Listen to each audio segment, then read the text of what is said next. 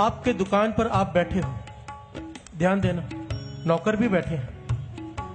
अब आपके दुकान पर ग्राहक नहीं आ रहे तो आप चिंता में बैठे हो। क्यों?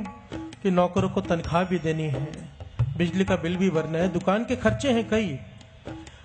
मालिक को चिंता है कि ग्राहक आएँगे या नहीं आएँगे, कितने आएँगे, कितनी सेल होगी, कैसे चलाना है।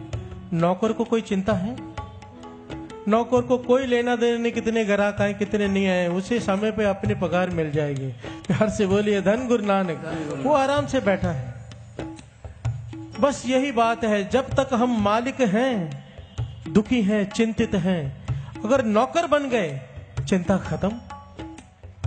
मालिक गुरु नानक को बना दो अपनी दुकान का, खुद नौकर बन जाओ, चिंता खत्म। प्यार से बोलिए, धन गुरु नानक।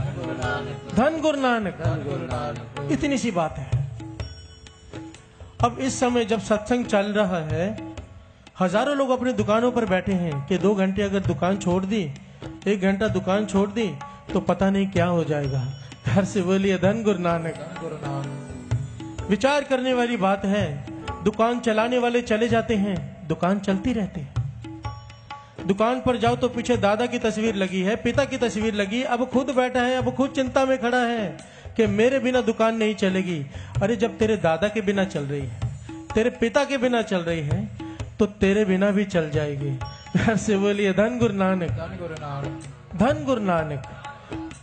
काम करने से मना नहीं किया है सत्संग जी गुरु नानक पातशाह ने। दास बार बार इस बात को एक्सप्लेन करता है।